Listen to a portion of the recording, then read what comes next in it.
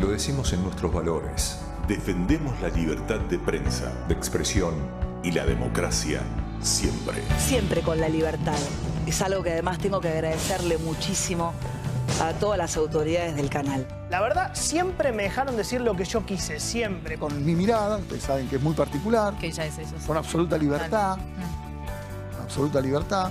Y me dan una libertad a mí, en lo personal, para trabajar, para hacer, para decidir. Y se pudo con mucha frescura y con mucha libertad debatir una gran cantidad de temas. Porque nos supieron respetar aun cuando muchas veces a lo largo de estos años tuvimos opiniones diferentes sobre distintos temas. Pero siempre hicimos lo que quisimos.